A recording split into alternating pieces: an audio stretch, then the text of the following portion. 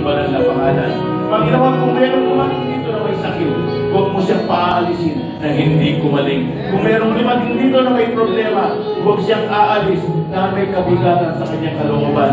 Kung meron dito, O Diyos, na may galit, uot ang kabigatan, Lord God, katapuan, katapuan mo, katapuin mo nga po sila, O Diyos.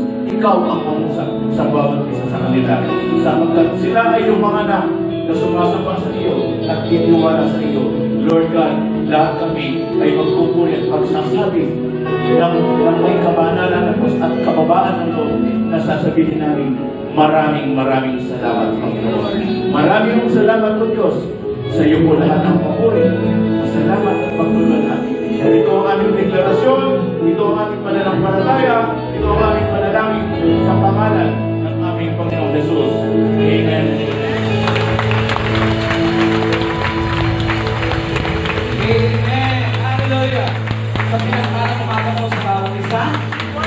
Hallelujah. Napakabuti po ni Lord. Amen. Uh, this is the first Sunday of the month and we commemorate and celebrate the resurrection of Christ. Hindi po nanatiling patay ang ating Panginoon. Buhay po ang Panginoon. Amen? And today, we will celebrate the goodness of our lives and of the Lord and we will sing our best praise, our best worship to the living God. Amen? Sige po, malakas na palakpak sa Panginoon.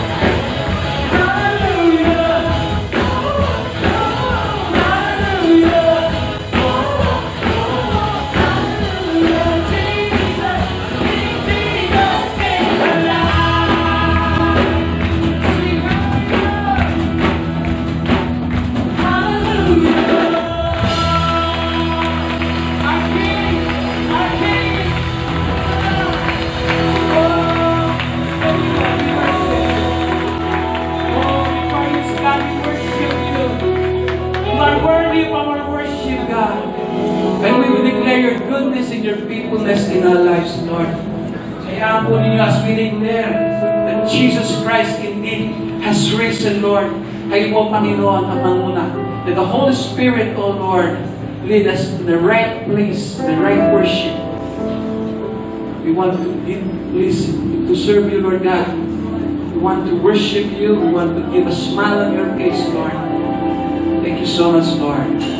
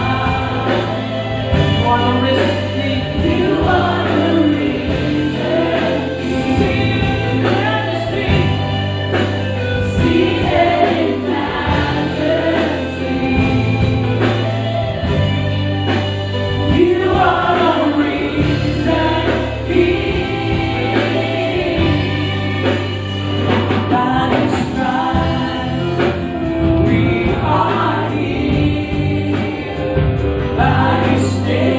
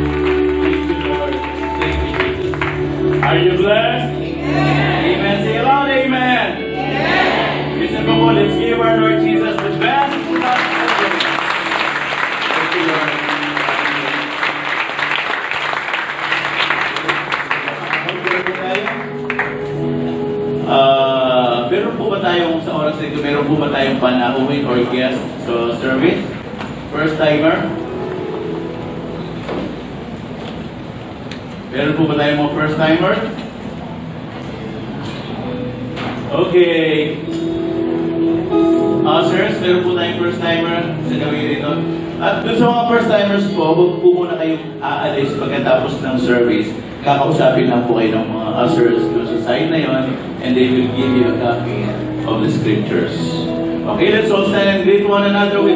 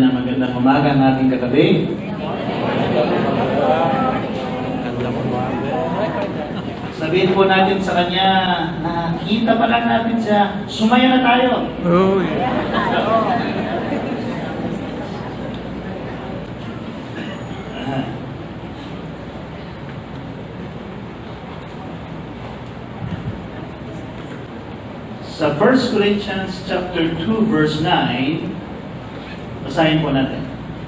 No eyes has seen, no ears has heard, mind has imagined, God has prepared for those who love Him. Tayo po'y sumandaling niyo po at manalangin. Sa pangalan po ng aming Panginoong Yesus, Amang Banal, Maraming, maraming, maraming, maraming, maraming salamat. Binigyan po niyo kami uli ng pagkakataon na ikaw ay aming mapaglingkuran. Ikaw ay aming masagba. At higit sa lahat na ikaw ay aming maranasan sa isang panibago at makapangyarihang kaparaanan. This morning, Lord, let your will be done. Let your kingdom come. In the mighty name of Jesus, we ask and we pray. And everybody will say, Amen. Amen. Sa umaga po ito, na-inspire ako masyado sa couples uh, fellowship natin. Oh, yan ang din ko. Manifest God's love. Ah, meron po tayong panonooring video. Panoorin po natin.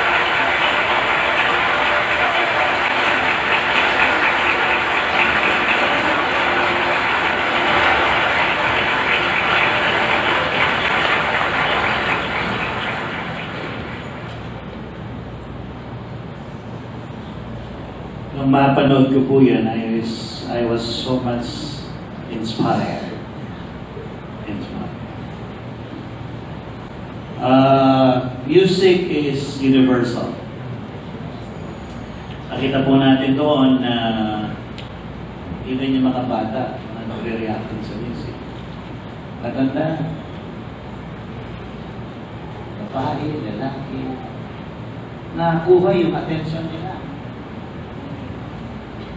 Music is universal. Yung isang normal na lugar, nagbago yung atmosphere. Music. See? Music is powerful. Lalo lalo na kung ang umaawit ay kagaya namin mga professional.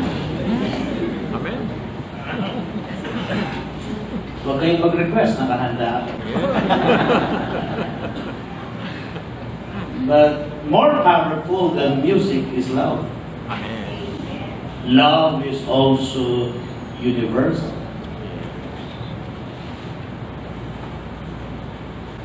Kahit hindi kami nakakaintindihan sa salita, yung pag-ibig na ipapadama. Sa katunayan, meron po kami pinag-pray noon na merong problema sa pag-iisip, hindi siya makontrol. Ng tatay niya, ng nanay niya, ng mga tito niya. Pero nung dumating yung kapatid ng lalaki, biglang pumayat at niyakap siya na magsapsan. Tapos nagtanong ko, bakit siya? Na, na, napayapa niya kasi sabi niya, bata pa sila, magkasama na. Tapos hindi niya sinusubukan. Iba, grabe yung pagmamahal niya sa kanyang kapatid. Imagine, ganun ka-powerful ang pag-ibig kasi may problema sa pag-isip, makaramdam yung pag-ibig.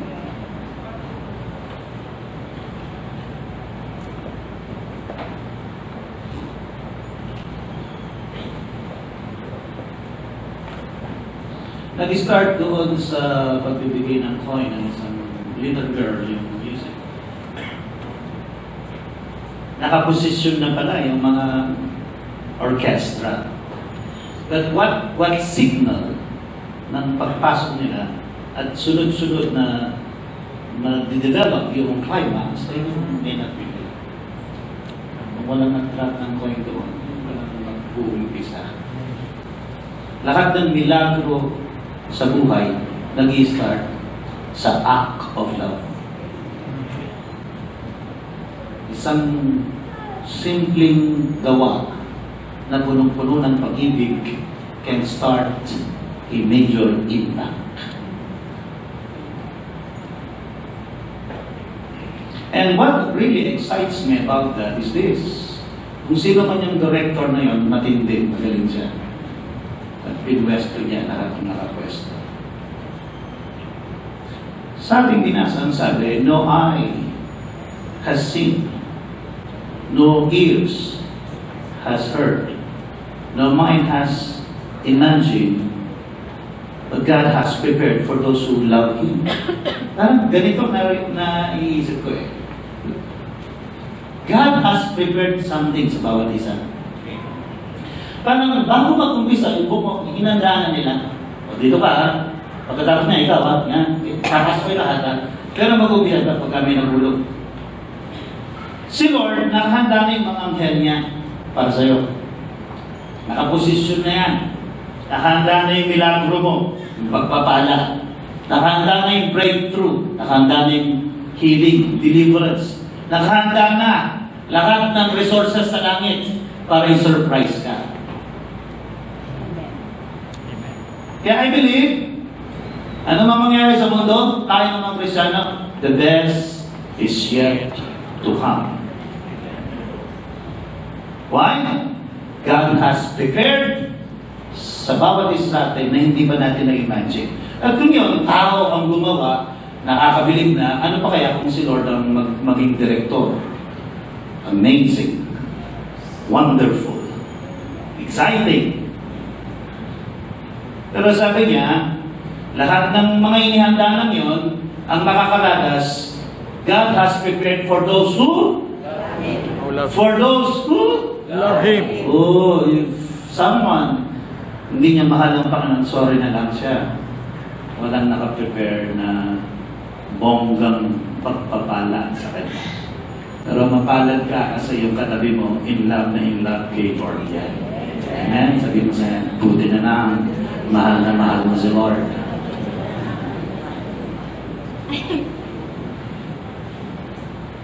In 1 John chapter 4, verse 7 and 8,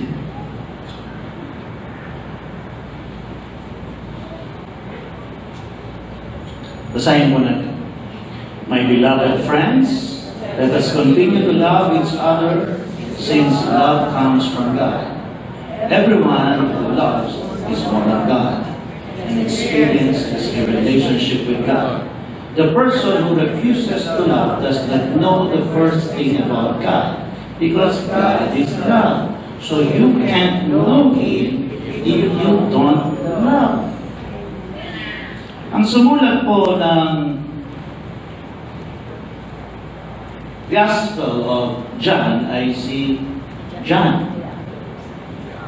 Siya rin po ang sumulat ng 1 John, 2 John, 3 John, at 9 John.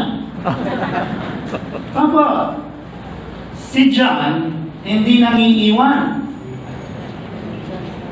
Sa 12 disciples, siya lang ang hindi lang iwan kay Jesus nung mapako siya sa krus ng Kalbaryo. Hindi ba ba? Yes. Kasama ni na Maria. Pero kung inner circle si Jesus, yung inner core niya, Peter, James, John, sa tatlong yun, si John lang ang nakahiga sa lap ni Jesus. Of all the writer in the scripture, mas maraming sinulat, pinaliwanag si John about love. Hindi sa sinabi nila, oh, si John lang ang pwedeng magkaroon ng ganong revelation, ha? Si John lang ang pwedeng mas makalapit sa akin. Hindi. Hindi si Lord ang pumili. Si John ang pumili na maging malapit kay Lord. So, nung si Jesus ay magkatawang tao, lahat pala may mga opportunity na maging malapit na malapit kay Lord. May mga 500 disciples, 120 disciples, 12 disciples, pero medyo malapit. Pero malapit. Malapit na malapit. Super lapit. Grabing lapit. Dikit na dikit. At to the max ang lapit.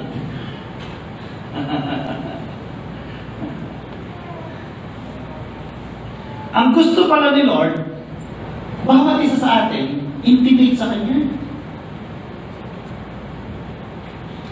Ayaw ni Lord na malayo tayo sa Kanya.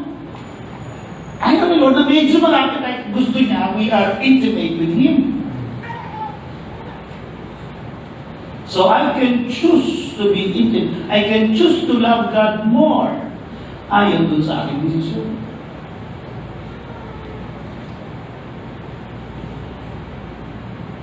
Sa punto ba ng buhay natin ngayon, masasabi natin na naitodo na natin ang pagpapadama ng ating pagmamahal kay Lord? O meron pa? What is so wonderful about love is merong yung taas, lalim, habak, habak, at lawak. In Ephesians 3.18, ang panalangin ni Paul na ang mga mananampalataya, makagawa nila yung lalim, taas, lawak, habak ng pag-ibig ni Lord. Ibig sabihin, mahal mo na si Lord, pero meron pa.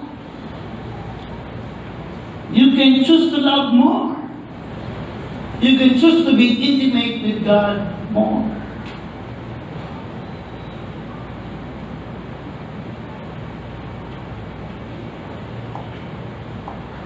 If we can choose to love God more, ang ibig sabihin, kaya gaano mo na kamahal yung asawa mo ngayon, meron ka pang may aangat sa pagmamahal mo sa kanya.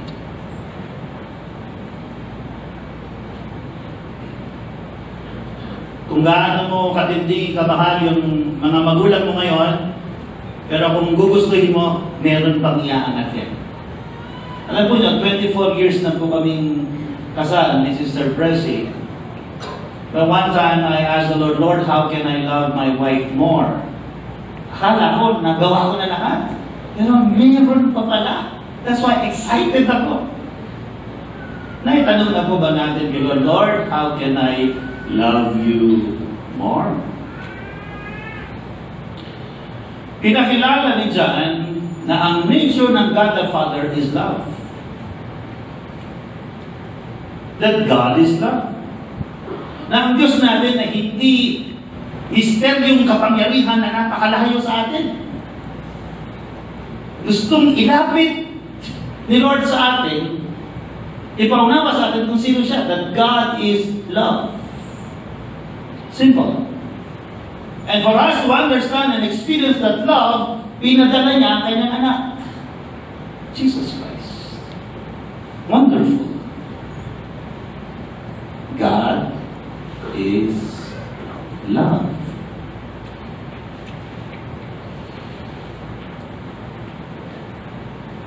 In 1 John chapter 4, verse 7 and 8, which binasa na natin, di po ba? Pero ayaw gumalaw. Thank you. Sinasabi that God is the source of love. In 1 John chapter 3, verse 16, this is how we've come to understand and experience love. Christ sacrificed his life for us. So you want to understand the meaning of love? Want to experience love? Christ sacrificed his life for us. The key to love is to experience God's love. In 1 John chapter 4, verse 19, ang sabi niya, we love Him because He first loved us. Jesus came to reveal the amazing love of God. Hallelujah.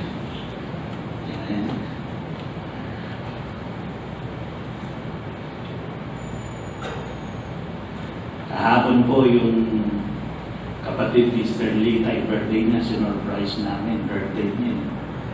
Naghanda kami ng mga program para maramdaman niyang she is loved. Ang Panginoon, para mapadama niya na we are loved, ang ginawa niya, pinadala niya ang kanyang bugtong na anak. Jesus Christ is the proof of love and love of God. Ang Diyos na boses lang God of Abraham, Isaac, and Jacob, wants to be intimate with us and reveal who really, sino talaga siya, anong nature niya, nagkatawang tao, pinadala niya pa At namatay sa krus ng Kalbaryo. In 1 John chapter 4, verse 9, let's read. In this was manifested the love of God toward us. That God sent His only begotten Son into the world that we might live through Him. Kaya nga Christianity is the best. Why? Sapagkat Christianity, ito lang yung God, yung God mismo ang nag-reach out at nakatawang tao at namatay para sa nililigtas niya. Pero ba kayong alam na religion? Na yung Diyos nila namatay para sa sa kanyang mga tagasunod? Only Christianity. Only Jesus Christ. Sabi ni Tom Holiday, Learning to love God and others is to be our highest goal, our greatest aim, our first priority, our deepest aspiration, our strongest ambition, our constant focus, our passionate intention. The more we learn how to love authentically, the more like Jesus we become. Sagutin po natin yung tanong, how to manifest God's love. attend couples ministry. How to manifest God's love according to sa 1 John chapter 4 verse 7 to 21. Una, passion. You cannot manifest God's love unless you are passionate in loving God. Sabi, basahin natin ulit, in this was manifested the love of God toward us, that God sent His only begotten Son into the world that we might live through Him. In Mark chapter 12, verse 30, sabi doon, And thou shalt love the Lord thy God with all thy heart, with all thy soul, with all thy mind, and with all thy strength. This is the first commandment. Yes, sinabi, thou shalt love the Lord thy God with thy heart, soul, mind, and strength. With all thy strength. Sa ibang translation, ganito po magkakasabi. Love the Lord God with all your passion, with all your prayer, with all your intelligence, and with all your energy. At ano po, ang kape, kahit gaano kasarap, pag malamig, hindi masarap. Eh, nakita ko kung pepa timplang kape, kapag pepa rin lang pa, kahit naiinom.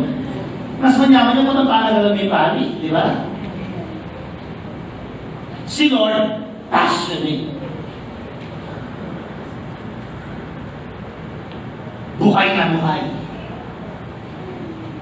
The energy. Kaya sabi sa Revelation, kung ikaw maligamgam, isusuka ka ni Lord.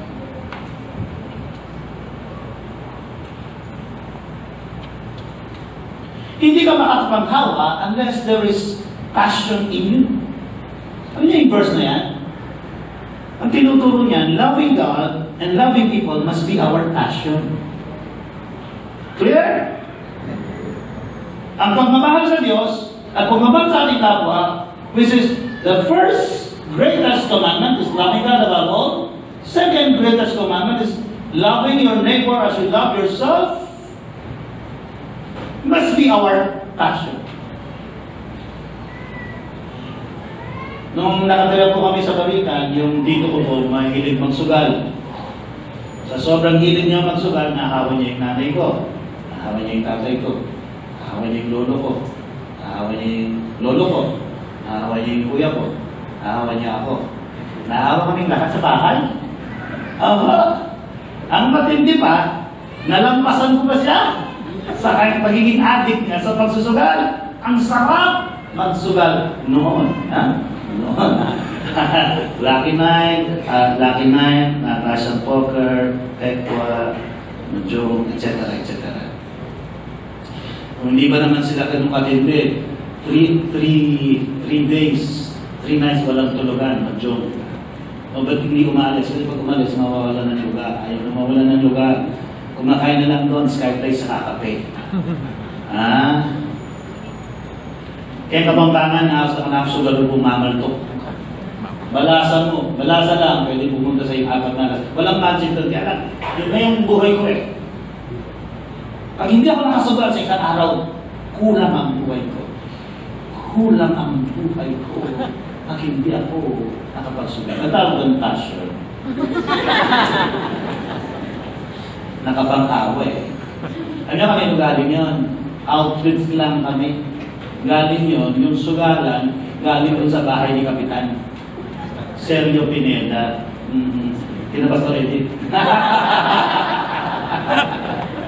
And then eventually, yung lugar ng sugalan, pag umaga sugalan, pag gabi, Bible study.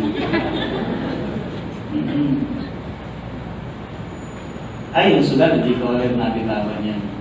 Eventually, dahil passionate kay Lord, yung mga ginamit niya, Mrs. Bishop Hong, si Bishop Hong noon, nagtatravel pa from Manilas, wala mang pamasahe, kung dahil, paano nakakarating? Tapos, ay, ang pantalon na, corduroy ako. Corduroy. Kung tapos papansin niya, tayo, meron niya pala pantalon. And because of their passion, ang dami naging pastor doon sa gawain to. Nang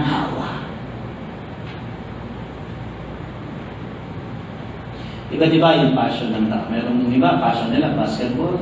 Kulang na lang, natulog sa basketball. As basta basketball, nabubuhay yan. Yung iba naman, ang passion nila, pagkain. Kahit masakit ang ngipin, nakakamuya. Amazing. May mga. Alam mo yung ating passion, dapat ang number one passion natin is loving God and loving people.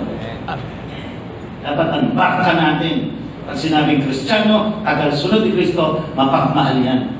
The best way to live is live a life of love. Ang pinakamabuting paraan ng pagbuhay, mabuhay na puspos ng pag-ibig. At matinding pag-ibig para sa Panginoon. Loving God above all ay dapat nating pangarap sa ating buhay. Kung mahal mo na si Lord ngayon, may aangat pa yan. Kung mahal na mahal mo si Lord, meron pa yan.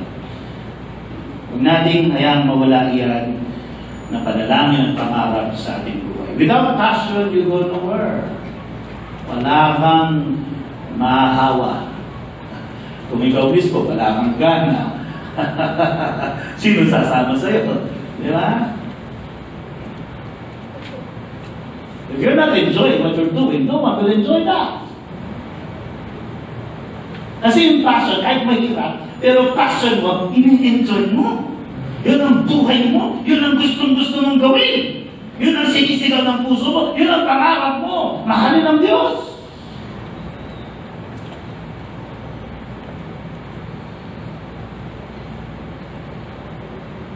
Passion is what is what sustain you in reaching your goals as you go through life. Nothing great is done without passion. Passion turns the impossible into possible. It energizes life. If you love God above all, it will impact all your relationships. Anything that you love God, anything that you love above God becomes your idol. Pag mahal, higit kay Lord, inalayo ka kay Lord niyan. Narinig ko ba niyo? Amen. Pag meron kang mas gustong-gustong ginagawa, gustong-gustong nakakasama, more than the Lord, that will be your idol. Magandang mahalin mo yung masama mo with all of your heart. Pero dapat mas mahal mo si Lord kaysa sa asawa mo. Yan naman ang utos. Love God above all. Ang malala, ito malala, pagka may kasalanan o may bisyo, at yan, pinagpatuloy mo, mabuburay pagmamahal mo kay Lord, yun na ang magiging passion. You see, lahat ng tao ay na-design o meron tayong nature na maging addict sa isang bagay at palaging ginagawa. Hindi ako kaagad naging sugarol. Una, meron muna ako katingin-tingin. Uy, malaki pala ang pinapag-aaral dito. Ang pinakagusto ko sa sugal, Russian poker. Gusto niyo matuto, wag na, kalimutan na nila. Hanggang sa nakiusi-usi ko na, saan na, minsan natatalo, tapos nakaupo na. Then eventually, bangka na. Nag-organize na. Pag wala, kahit tatlo lang. Kahit, kahit bigyan na lang kita, singko-singko, basta mabulang yung apat. Pero hindi bigla ang gusto mo siya ko. Step by step. Unti, unti. If I want my love to God to grow, I must choose to love God. Kailangan kong piliin manalangin kahit ayaw kong manalangin. Kailangan kong piliin sumunod kahit mahirap. Kailangan kong piliin magbasa ng Bible araw-araw. Kailangan kong piliin na mag-worship hanggang sa ito'y mag-grow na mag-grow. Warning, you can love the Lord with all of your heart, pero pwedeng manakaw ng Panginoon ng kaaway ang pagmamahal mo sa Panginoon. You can be distracted.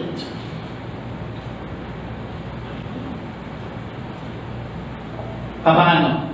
Yung dati mong bawa ako, sugarol. Kung hindi ko babantayan yan, ibabalik ng away yung passion ko doon. Paano gagawin ng away? Kunti, kunti. If our love to God will grow stronger, step by step, yung love natin sa kasalanan sa mundo, grow little by little. So, the enemy, ang kaaway, ilalagay mo sa Diyos, sisirain ang buhay mo, unti-unti. Sasabihin, isang tingin lang naman, walang problema yan. Konting lang po, kailangan naman yan. Hindi mo dati ginagawa, nagkaroon ka ng desire, tinignan mo ulit, konti lang. And every little disobedience to God will create a stronghold in your mind hanggang sa mahirap mo nang ibalik yung dati. Warning! Kung may nakikipag-text sa iyo na hindi mo naman asawa at yung mga text niya flirtatious, flirtatious, flirting. Ano sa Tagalog yung flirting? Sa Tagalog? Ako tama.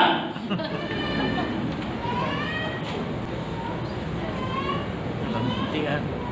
Meron siyang nagpa-counsel sa akin, sabi niya, Pastor, di ko naman sinasadya. O, wag mo na patulan. Kasi sabi niya, nag-text siya double meaning. Sinusubukan ko lang kung talagang, kasi parehas kami Kristo, sinusubukan ko lang kung papatol, pumatol. Na-trap siya, yun, nagkasala. Saan nag-umpisa? Isang text. Lahat ng mga lalaking nangalun yan, hindi na sinabing, gusto kong saktan ng asawa. Hindi. Hindi-undi yan. May kaibigan, kasama sa trabaho. Ha? Timpla lang. Yung pinagtitigil.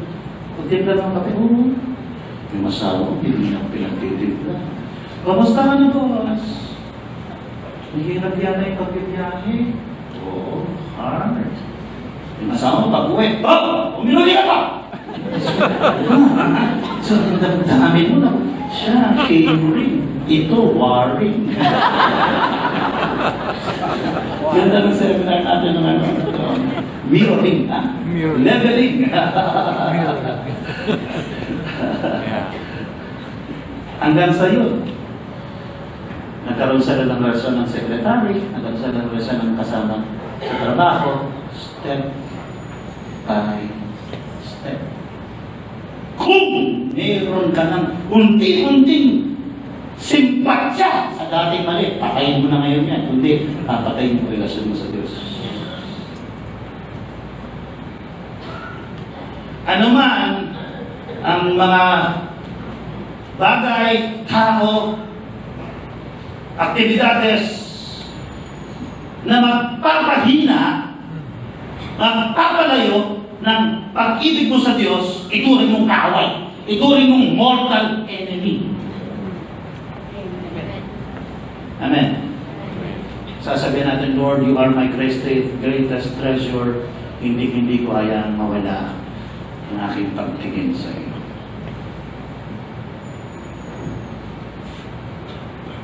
Taningin mo yung katabi mo. Sino yung tinitignan mo ngayon? Nako! Baka iba na yung uh, tinitibok ng iyong puso. We need to love God above all. What does it mean to love Jesus according to Jesus? Anong ibig sabihin ng mahalin? Kung tatanungin natin si Jesus, Lord, I want to love you more. How can I love you? Tell me. Sinabi po ng Panginoon. Jesus tells us four times what it means to love Him. In John chapter 14. First in verse 15, If you love me, you will keep my commandments.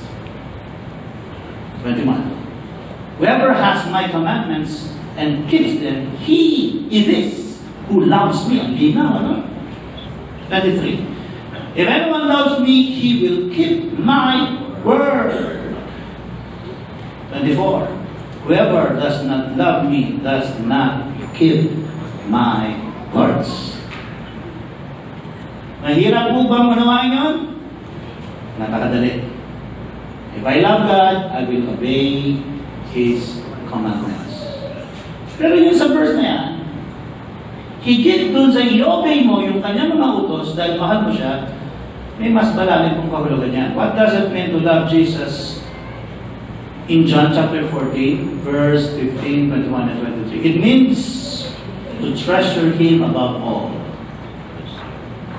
to desire Him, to long for Him, to enjoy Him, to be satisfied in all that Is.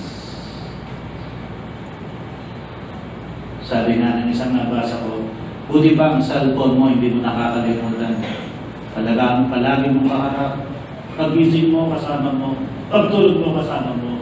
Ako, hindi mo na ako pinapansin.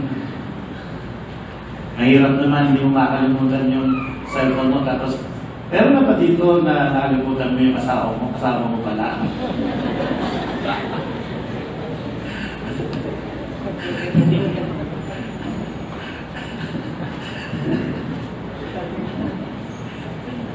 Naalala ko yung kwento ni Sister Lori. Kailangan data sila sa Manila. Yung nag-CR siya. Yung driver niya, nag-CR din. Pagbalik ng driver, akala niya nandun na si Sister Lori. Nagbiyahe, nakatunta na sa Manila. Nung tawagin niya, iniwan niya yung boss niya. Yung tanggal sa trabaho. Nag-resign na sa takot. Kalimutan mo na lahat. Huwag lang si Lord. Amen. Sabi mo sa asawa mo, kailanman hindi kita kakalimutan. Sweet darling. The promise to those who love Him. Anong pangako doon sa mga nagmamahal sa Panginoon? Sa verse 21, sabi niya, And he who loves me will be loved by my Father, and I will love him and manifest myself to him. My Father and I have a special, close family love for you. And in all that, I will manifest myself to you. I will show you things about me that the world cannot see or know. They are experienced by those who love me and treasure. Ibig sabihin kapatid, the Father, the Holy Spirit, Jesus Christ will be with you forever. They will not forsake you no matter where you are, no matter what happens, no matter what are the circumstances. This promise will give us complete security. Kaya na nang balik ang coronavirus, if you have that kind of promise from the Lord, the King of Kings and the Lord of Lords, ay kayang-kaya na niyang protektahan. Hindi, hindi DOH ang perfect na nakakapag-ingat sa iyo. Hindi yung mga medical people. Our Lord Jesus Christ Amen. can and will protect those who love Him above all. Amen. Today, I challenge you to make a decision. Alam kong ginawa na po niyo ito, but it needs rededication, recommitment. Kagaya ng ah, sinabi ni Martin, Dr. Martin Luther King.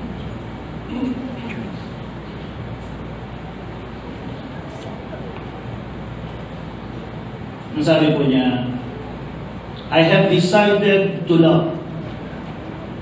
I have decided to love. If you are seeking the highest good, I think, I think you can find it through love. And the beautiful thing is that we are moving against wrong when we do it.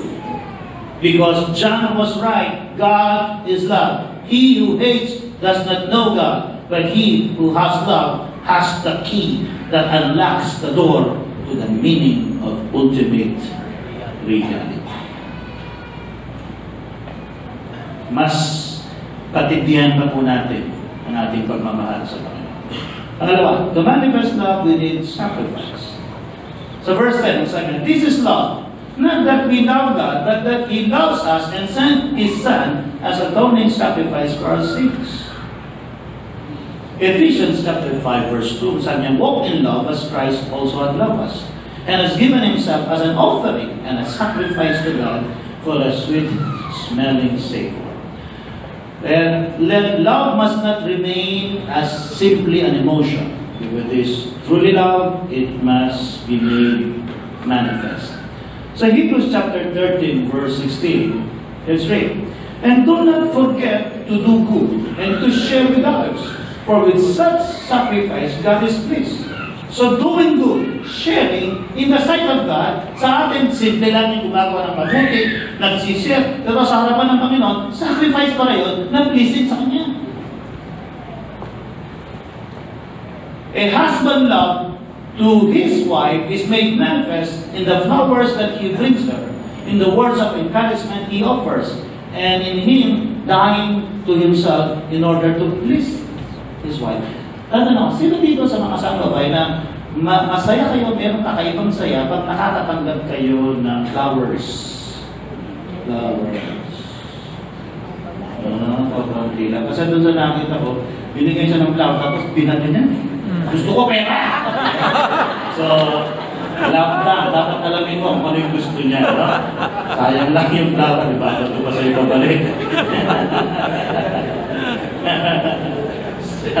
Sabi po ng isang author, a strong relationship starts with two people who are ready to sacrifice anything for each other. Sulo yan.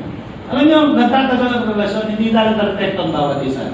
Nagtatagal ang relasyon kasi handa sa magsakripisyo sa kanyang asawa.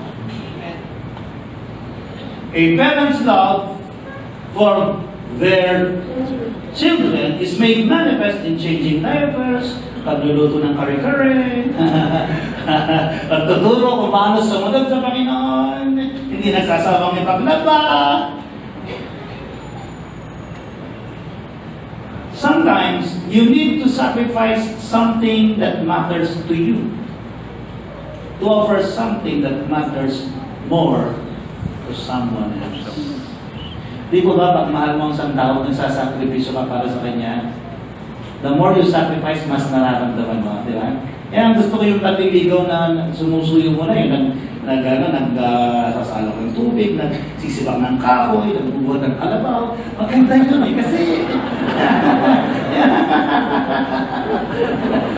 Wala kang nakakanoon bago pag uh, ginagawa mo yung dun sa sini, yung mga nanghaharami, Dungawin mo hirang, di ba?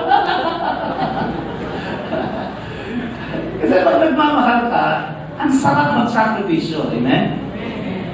Yan sa book of Acts, kung babasahin po natin mga disciples, pagbaba ng Holy Spirit, tapos ano sila, nag-minister sila, karamihan sa naranasan nila, sacrifice. May mga nangaral sila, pinalakad yung lumpo, nakakulong, pinagwawasiwas, nagdugo-dugo yung katawan. Eh, walang makikita ang kaso, sige, labas kayo. Paglabas nila, nagre-rejoice. Hindi sila reklamo, nag-ministry na nga. Sarili mo na nga ang gastos. Tapos di pa darating yung mga kasalpul ko. Ano ba yan? Hindi sila nagreklamo. Sabi nila, alang-alang kay Kristo, kami naparusahan. Wonderful. Alam, sabi natin, alang-alang kay Kristo. Ang dapat doon, passion. Si Paul nga, ayon sa history, pinugutan ng ulo eh. Pagbugot ng ulo, gumugulong yung ulo niya, nakagiti.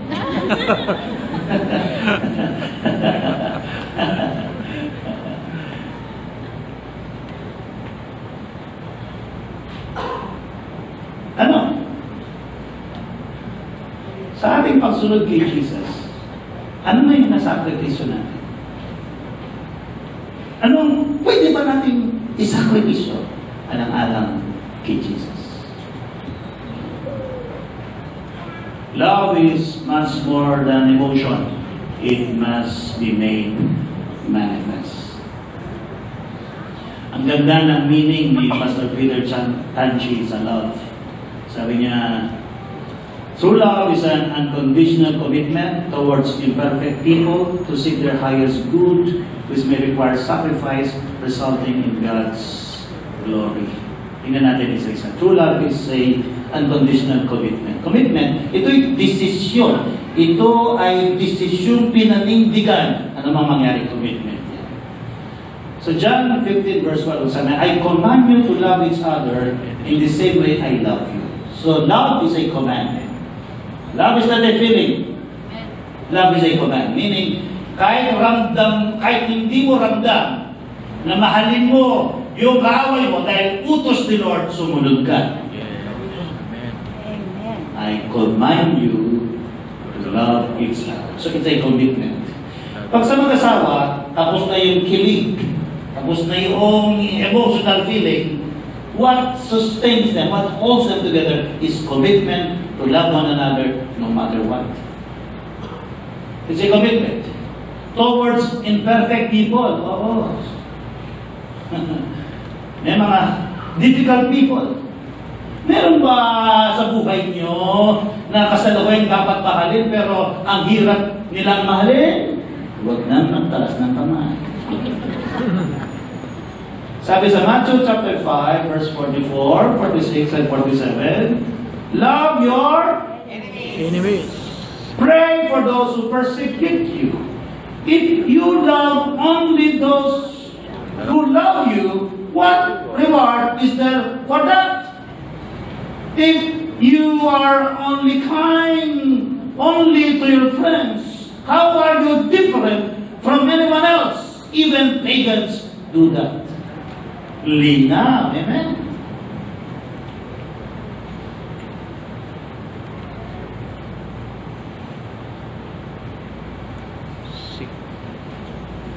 Love is unconditional commitment to love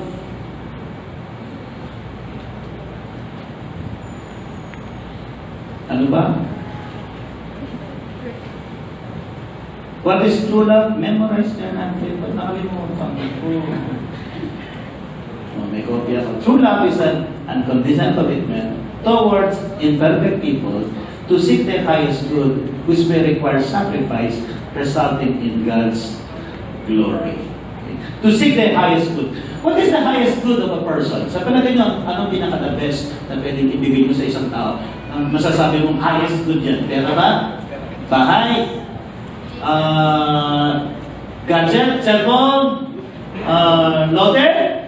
What is the highest good na pwedeng ibigay natin sa isang tao? To seek a person's highest good is to bring him to Jesus and help him grow and be transformed into the image of Jesus.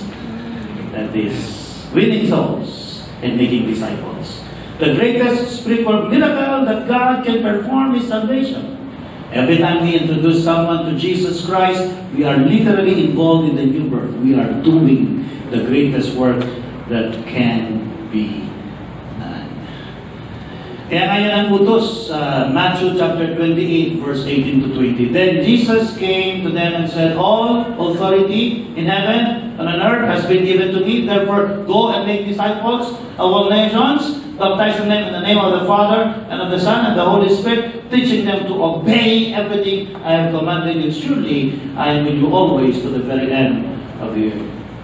Jesus Christ, our model for winning souls and making disciples. In John chapter 17, verse 4, sabi niya, I have glorified thee on earth. I have finished the work you have thou hast given me that I should do. Ano yun? Hindi lang po yung mapako sa krus.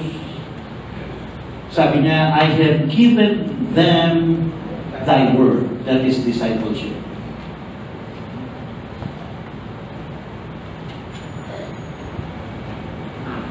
Discipleship was his goal for those whom the Father gave them. And that is our same mission. With souls, make disciples. So, basahin natin. Love is an unconditional commitment towards imperfect people to seek their highest good, which may require sacrifice resulting in God's glory. Now, listen to me. Kung, kung nasa sitwasyon mo napakahirap at gusto mo nang lumipat, gusto mo nang isorry sa mga magulang niya. Andito ba si brother? Andito kayo? Ah, wala yung parents mo. Nakaka-inspire sila. Ano yun? Sister, I love you. Dapat yan, i-reaction natin, ipelikula natin. Hindi siya sumuko kay brother. Grabe, nakakaiyak. Pero hindi niya binitawan. Ngayon, tinanong gwapo-gwapo na si Sir Lord. Amen. Okay lang sabihin ko tragedy ka dati. Sinabi. Oo. At, at ang grabe pa pala ng kwento. I love that story. Parang lalo naging solid sa akin yung, yung teaching na huwag mo susukuan ng tao. Laban mo yan. Ipanalangin mo. Ba't natuto tayo magmahal? Kasi minahal tayo ng Diyos, di ba ba? We love because He first loved us. Tama. Kung may mga taong hindi marunong umibig, at gusto mo lang ipako sa krus, turuan mo sila ng pag-ibig. Hindi nila alam eh. Paano sa tuturuan? Ikaw muna ang umibig. Huwag mo sabihin, pag ako pinansin ito, papansin ko. Pag ito, pinagdala ako ng pagkain, dadala ko sa ng juice.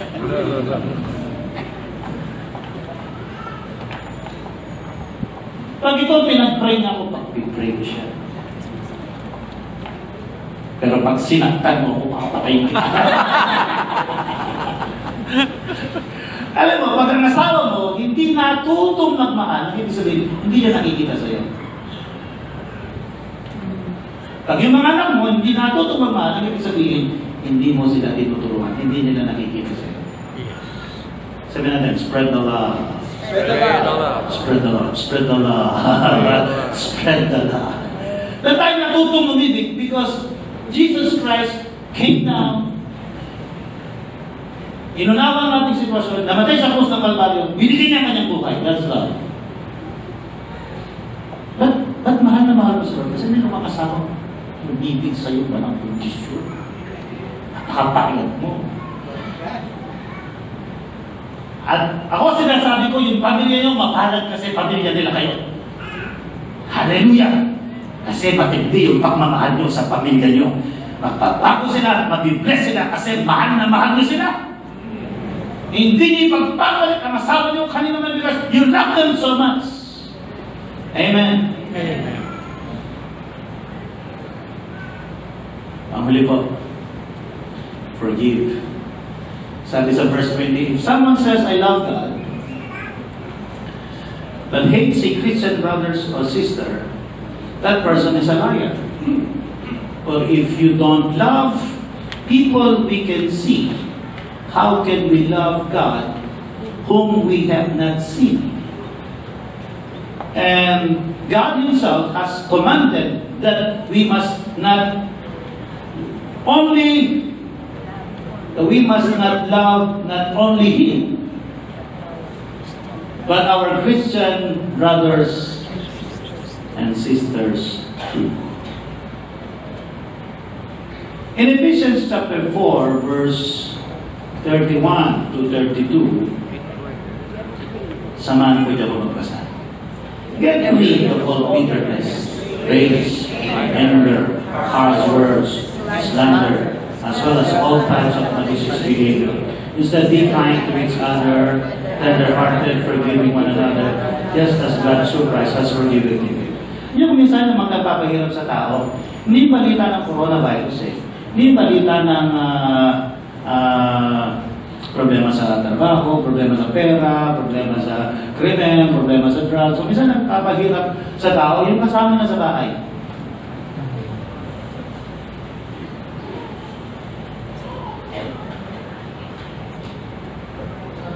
Dahil inaaway niya. Dahil sinasaktan niya. Kasi napakarami ng pressure sa labas. Dapat pag uwi sa bahay, cool. Masaya. Amen. Yan ang parang sa akin. Mag-asawa. Nagawa. Nag-aaway sila. War. Kasi ano to ah? Ang problema pala, dahil nagsama sila, parehas lang ni anak. Nagsama. Yung anak niya, sinasaktan nung anak nung isa, sinasaktan. Kira! But hindi mo unawain mo na yung palalagay na mahalin mo yung anak niya para mahalin niya yung anak mo. Hindi, sinaktan mo yung anak mo, sasaktan mo yung anak mo. Sila ang. Gulo sa loob ng pamilya. Sabi po ng sa motor, anger will steal, kill, and destroy. Mahirap, mahirap po iparamdam ang pag-ibig pag galit ka. Ha? Pag galit ka, pati ngiti mo, ngisi.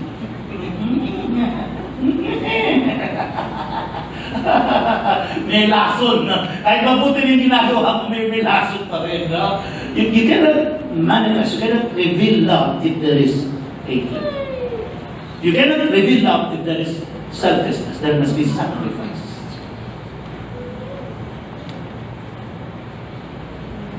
In Ecclesiastes chapter 7, verse 9,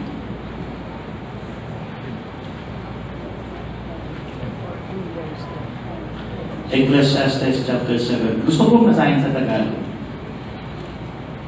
Sabi niya, Pag-aralan mo magpigil sa sarili, magmang lamang ang nagtatanim ng galit. Uli. Ulitin ko. Ah, pag-aralan mo magpigil sa sarili, mangmang lamang ang nagtatanim ng galit. Ano ba isa? Proverbs 14, 29.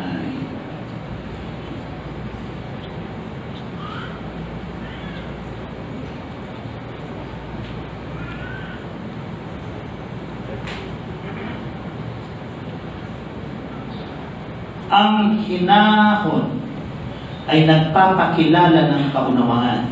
Ngunit ang madaling pagkagalit ay tanda ng kamangmangan.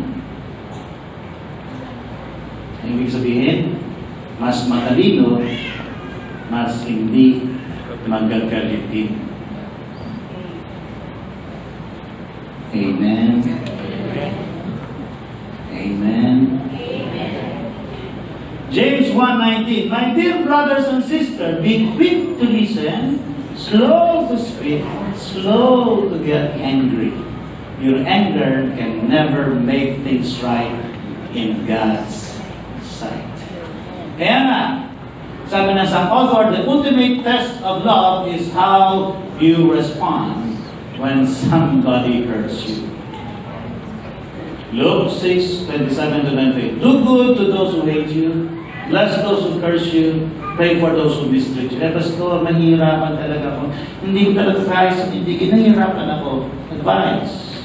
Pray for those who mistreat you. Pray, Lord. So, ko, al alam ko, hindi dapat natin. Pero help me, pinag-pray ko siya. Panginoon, sana mahulog siya sa pagmamahal sa inyo. And then eventually makikita mo yung galit mapapalitan ng pag-ibig. Ano sabi sa 1 Peter chapter 3 verse 8 and 9? Finally, ang sama niya magbasa. Finally, all of you live in harmony with one another, be sympathetic, love as brothers, be compassionate and humble. Do not repay evil with evil or insult with insult, but with blessing. Because of this you are called so that you may inherit a blessing. Hallelujah. 1 Peter chapter 2, verse 22. He committed no sin, and no deceit was found in his mouth. When they hurled their insult at him, he did not retaliate. When he suffered, he made no threats. Instead, he entrusted himself to him who judges justly. Nasaktan ka ba? Nagdudugo ba ang puso mo? Sabi sa John 13:34, A new commandment I give unto you, that you love one another as I have loved you. This you also love one another. To manifest God's love, there must be passionate love to God, there must be sacrifice and forgiveness. Tayong lahat ay tumayo at manalangin.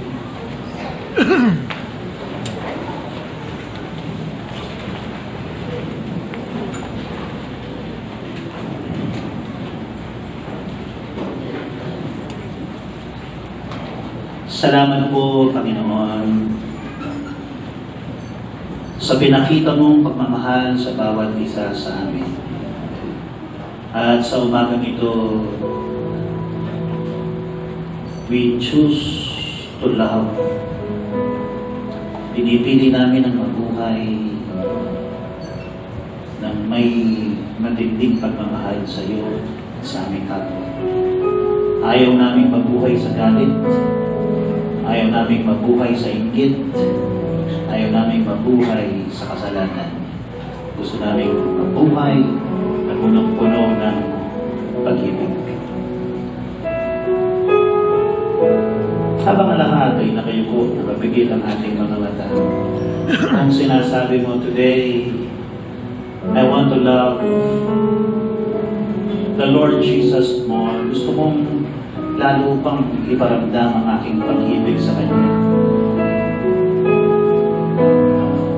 I want to be more intimate. I want to be more passionate in my love to God. Wherever you are, just, just raise your hands if that is your prayer.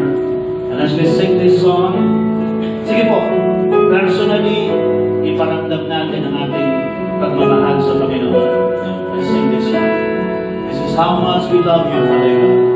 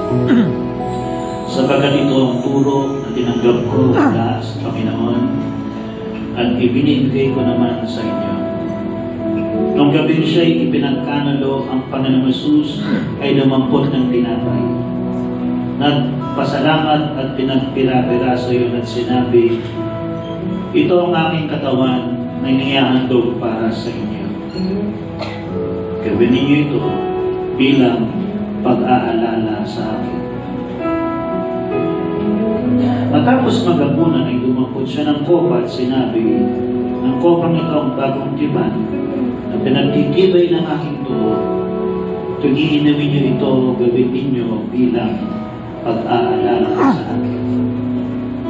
Sapagkat tuwing kakain kayo ng tinapay na ito at iinom ng kopang ito, ibinabahayag ninyo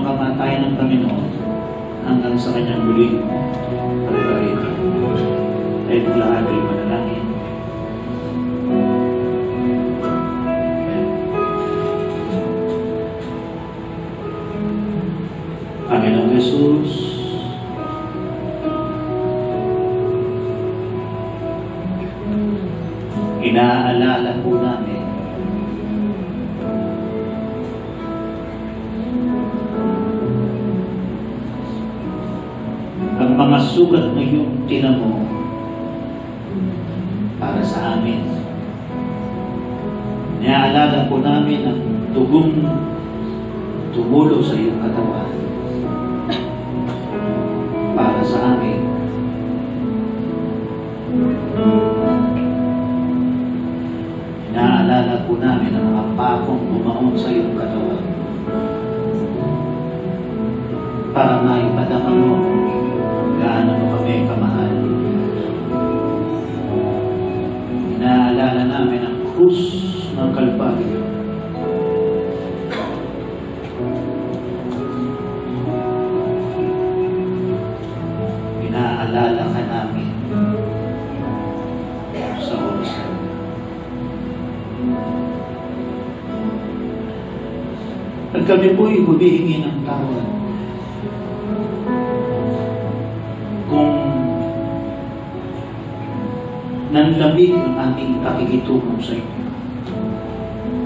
Patawad po kung hindi na namin ganun sinasaliksik ang iyong presensya. Patawad po kung hindi ka na number one sa aming mga puso. Patawad po kung hindi na kami excited na magsakripisyo para sa inyo. Patawad po. Patawad po sa galit na naitanim sa aming mga puso. Patawad po sa mga bisyo na naglayo sa amin sa iyo, Panginoon.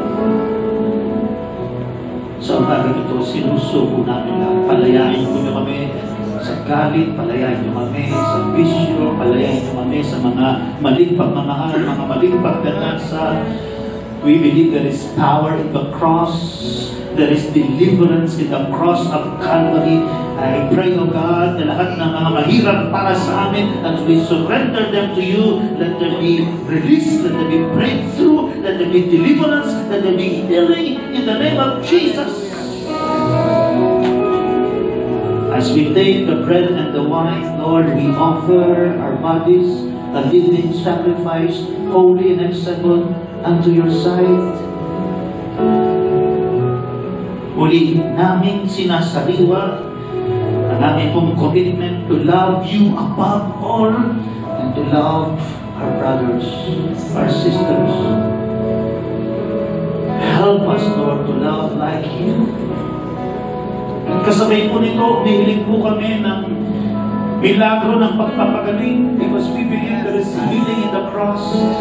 Sa lahat ng merong karamdaman dito, Lord, I pray for an instant healing in Jesus' name.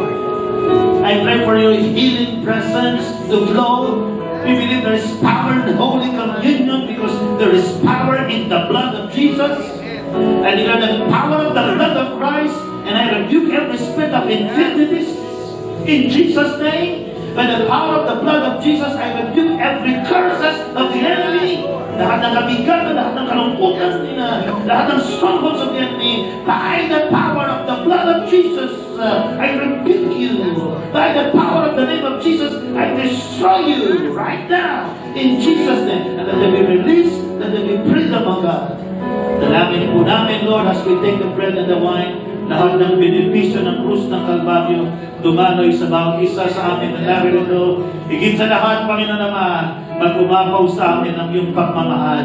Mag-umapaw sa amin, Panginoon, ang matinding respeto at paggalang sa iyo. Salamat po, salamat po. Ito po ang aming dalangin sa pangalan ng aming Panginoon Jesus. Tayo lahat ay kumain. Tayo